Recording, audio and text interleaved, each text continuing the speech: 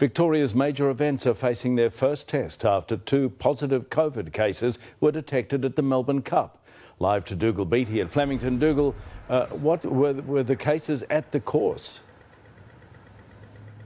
We know that neither of the cases are linked, Pete, but both are fully vaccinated. One is a contractor who spent two days working at the Arbour inside the purple zone. The other is a patron who spent time at the deck bar inside the green zone. Now, the good news is that anyone inside that purple zone is deemed low risk. They only need to get tested if they develop symptoms, but the health department is reaching out to anyone who was inside that green zone via text message. If you don't receive a text message, it means you are at, no, at low risk.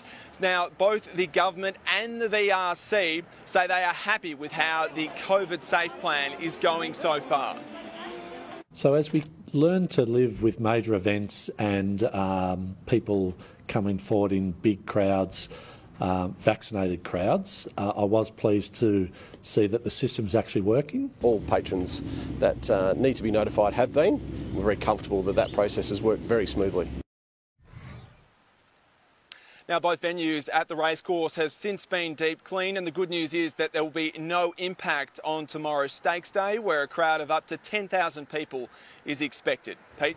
OK, thank you, Dougal Beattie.